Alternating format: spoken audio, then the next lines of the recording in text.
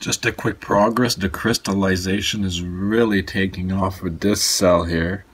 So I just want to show you the progress of what it's doing. It, seems to be layering as it grows around.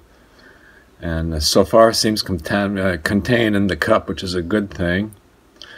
And uh, this one here is still holding its voltage. I could turn on the meter there think I got it. There it is. 1.98.